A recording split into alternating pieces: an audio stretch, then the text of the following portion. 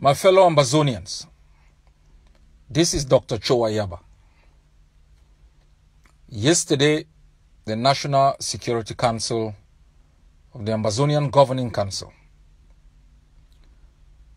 met in an enlarged session comprising of the executive of the AGOVC, the executive of the Defense Council, the policy chiefs, and the communication chiefs. We met to review the current trend of events as far as our war of independence is concerned. We took stock of the recent threats to our forces on the ground, the declarations made by Mr. Sako and his communications chief, Mr. Anu. We examine past events. For example, attempted killing of General Arke of the British Southern Cameroon Restoration Forces, the kidnapping and disappearance of General Koraman, the conspiracy that led to the death of General Ivo. We took into account the incidents of Bui that led to the assassination of General Nginyam. We took into consideration the statement by Dr. Sako on the whereabouts of the 23 fighters of the Ambazonian Defense Forces and sister forces. We looked at their trend in terms of relationship with other movements, the impeachment of uh, Sisiku, the building of persistent conspiracies against uh, Sisiku. We took into consideration their declaration of war on the Ambazonian uh, Defense Forces, the inspiring of tribalism from Lebialem, Bui, and Momo. We took into consideration the fact that the engineer civilian population to attack fighters. We also took into consideration the massive embezzlement of funds, public funds, collected to be directed to arm Ambazonians. we took into consideration other secret deals being done with the Swiss HD and the deep involvement of the Swiss HD in some of the activities that they are doing and how those activities have emboldened the rhetorics of Mr.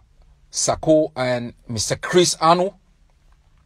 We also took into cognizance the fact that there are several people working under them who are dissatisfied with all of these things and have been working extremely very hard to see that our forces can work together.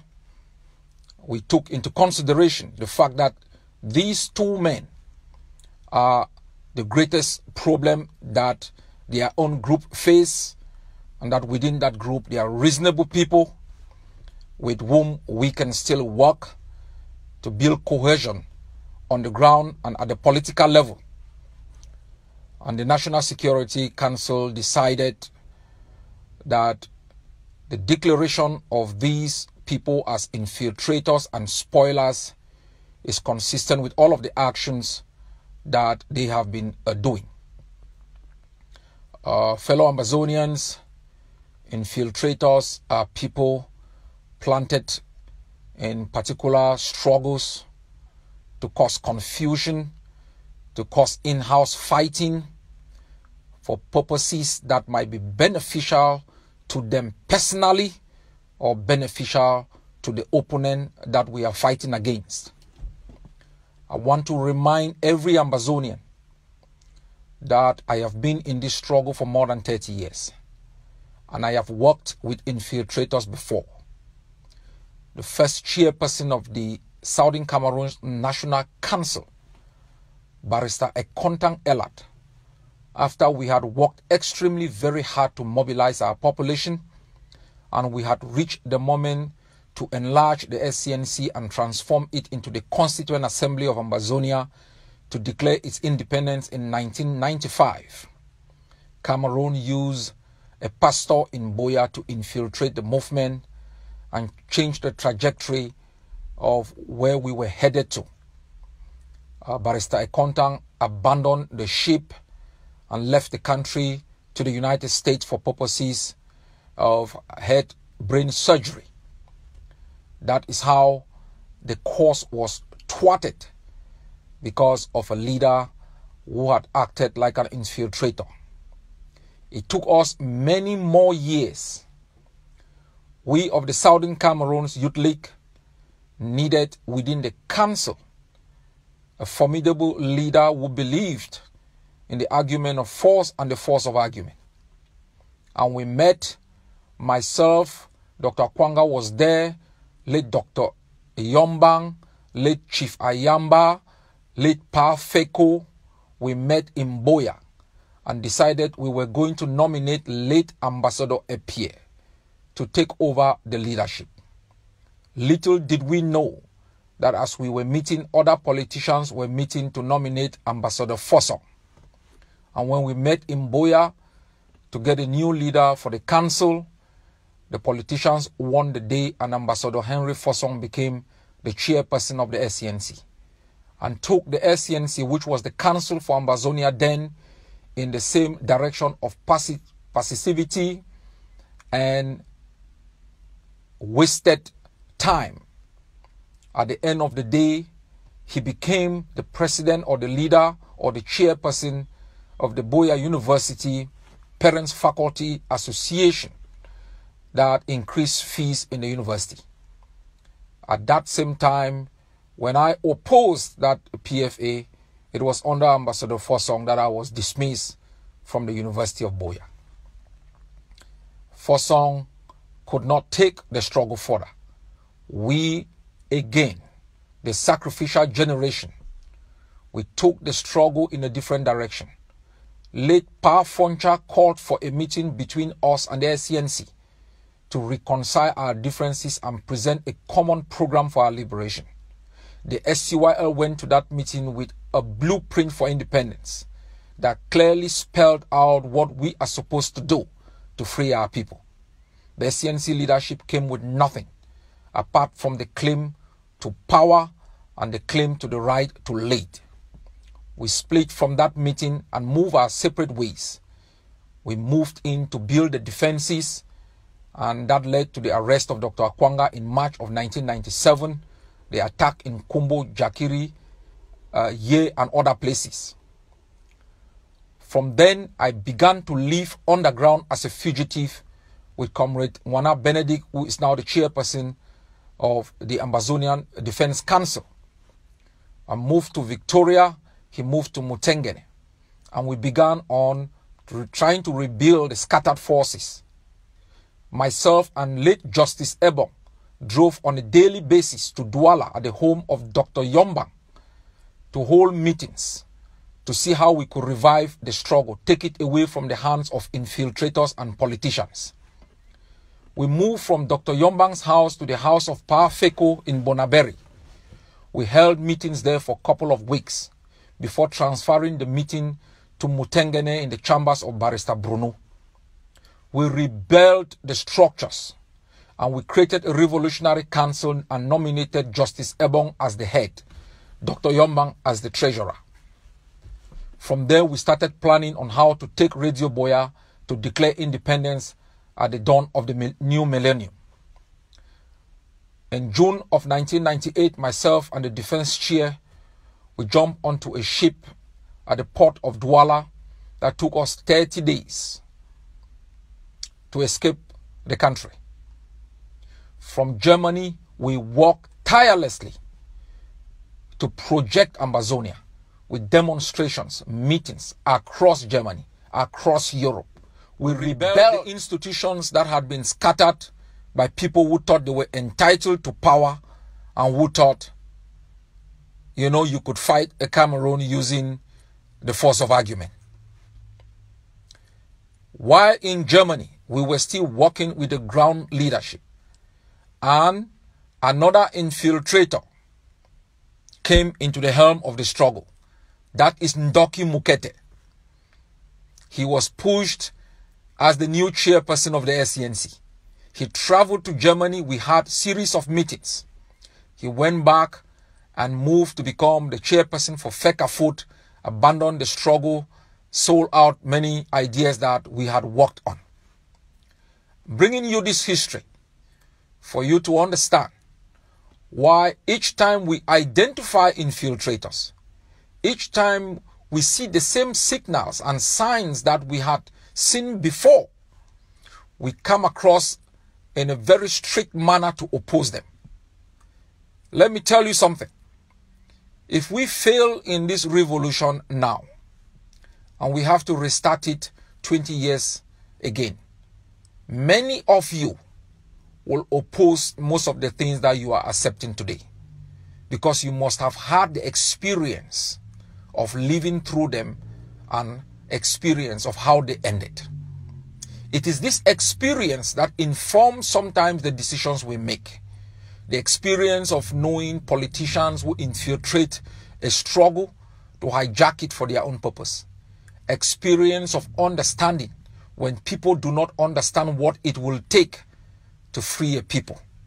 Experience of understanding when leaders do not understand what is at stake and what they need to do.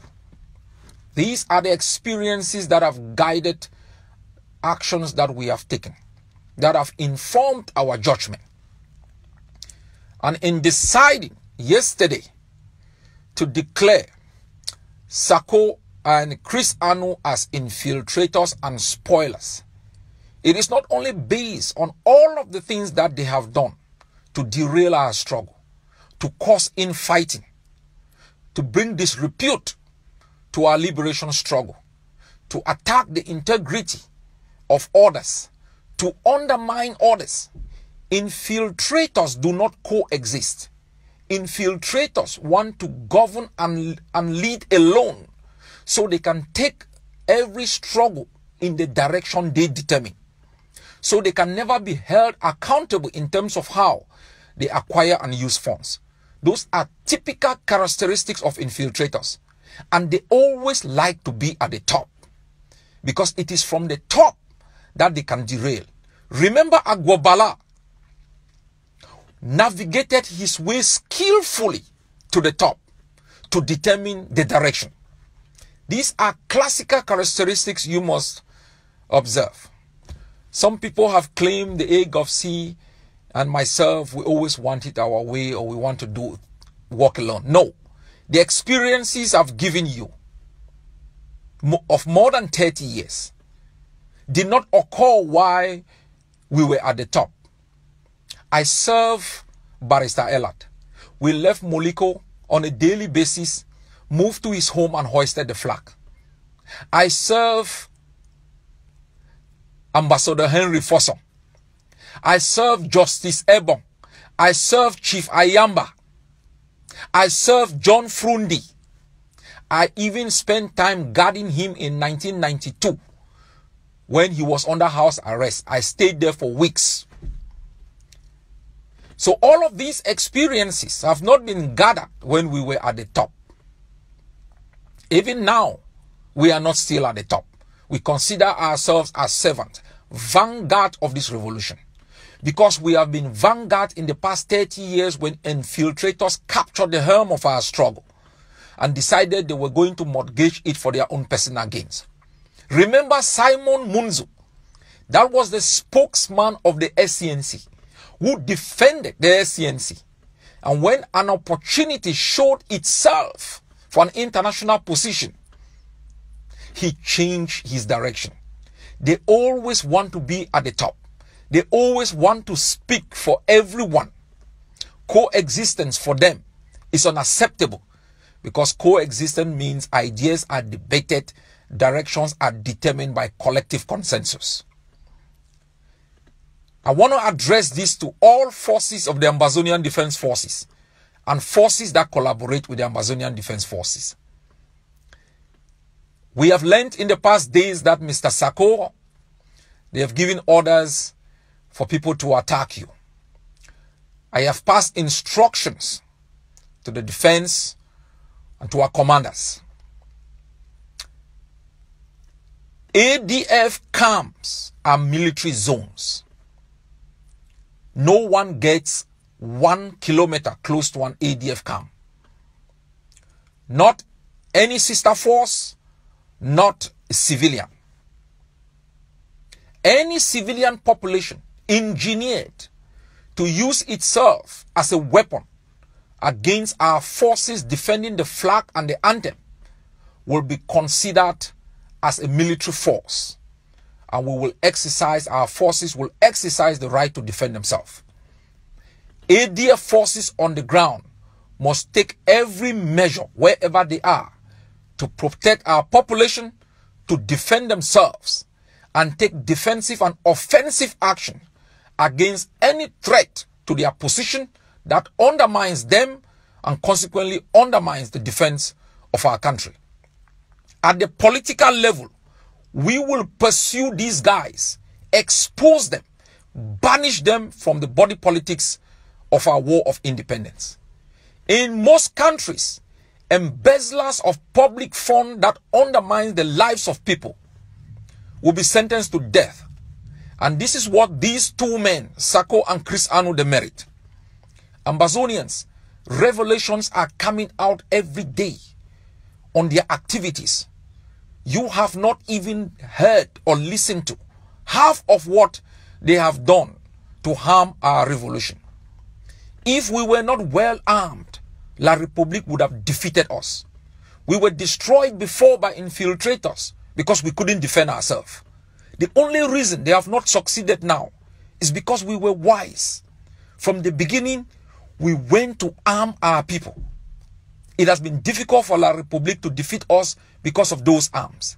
It has been difficult for the infiltrators to defeat us because of those arms. And that's why you must commit to arming the people to defend the freedom, the independence declared and restored. Fellow Ambazonians, infiltration is as old as revolutions. Ours is not unique. It is not trying to undermine others. You have seen what has happened to our collective endeavors. You have seen how soldiers, generals have been kidnapped, they have been killed, they've been blackmailed, their sacrifices undermined for the sole interest of a few. The quest for money, the quest for their own individual survival. They have nothing to lose. They cannot tell you of any of their relations, their friends, or people they know who've lost their lives. If they had one, they would have respected our war of independence. It would have been personal. For them, it is some abstract struggle for independence. For us, it is about our existence. God bless Ambazonia.